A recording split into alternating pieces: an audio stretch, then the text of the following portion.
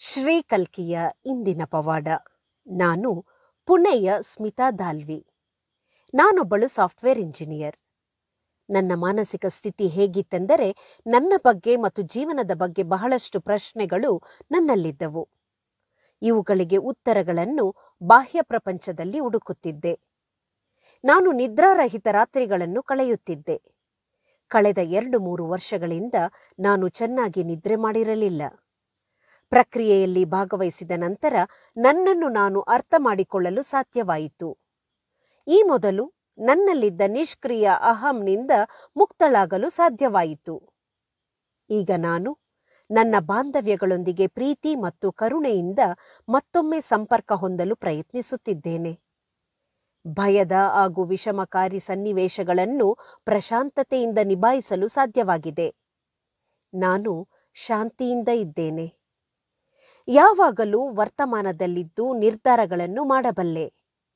ನನ್ನ ಮನಸ್ಸನ್ನು ಕೇವಲ ಸೂಚನೆಗಳನ್ನು ರವಾನಿಸಲು ಬೇಕಾದಾಗ ಮಾತ್ರ ಮನಸ್ಸು ಬೇಕಾಗುತ್ತದೆ ಮತ್ತು ಅದನ್ನು ಕೆಲಸವಾಗಲು ಉಪಯೋಗಿಸಲು ಬಯಸುತ್ತೇನೆ. ನನ್ನ ಮನಸ್ಸು ಗತಕ್ಕೆ ಮತ್ತು ಭವಿಷ್ಯಕ್ಕೆ ಹೋಗುವುದನ್ನು ನಿಲ್ಲಿಸಿದೆ. ನಾನು ನನ್ನ ಜೀವನವನ್ನು ಕರಾರುವಕ್ಕಾಗಿ ಮತ್ತು ಯೋಜಿಸಿರುವ ರೀತಿಯಲ್ಲಿ ಸಂಘಟಿಸಲು ಸಾಧ್ಯವಾಗಿದೆ. ನಾನು ಸದಾಕಾಲ ಸಂತೋಷದ ಸ್ಥಿತಿಯಲ್ಲಿರುತ್ತೇನೆ. ಏಕೆಂದರೆ ದುಃಖವು ಆಲೋಚನಾ ಪ್ರಕ್ರಿಯೆಯಲ್ಲಿ ಮಾತ್ರ ಇದೆ ಎಂದು ಬಹಳ ಸ್ಪಷ್ಟವಾಗಿ ಅರ್ಥ ಮಾಡಿಕೊಂಡಿದ್ದೇನೆ ನಾವು ಅದನ್ನು ಅಂತರಂಗಕ್ಕೆ ತೆಗೆದುಕೊಂಡು ಅದರ ಬಗ್ಗೆ ಯೋಚಿಸುತ್ತಾ ಇರುತ್ತೇವೆ.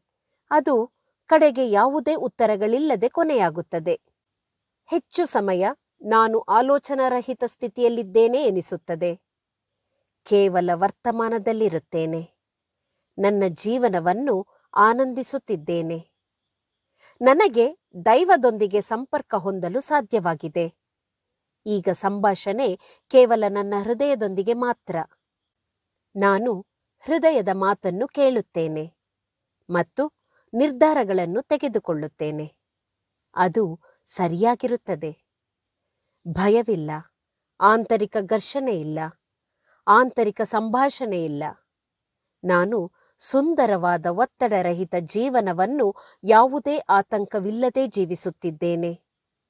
ನನ್ನ ಸುತ್ತಲೂ ಜನರಿದ್ದರೂ ನಾನು ವರ್ತಮಾನದಲ್ಲಿ ಸ್ತಬ್ಧತೆಯನ್ನು ಅನುಭವಿಸುತ್ತೇನೆ. ಅನಂತಾನಂತ ಅನಂತ ಕೃತಜ್ಞತೆಗಳು.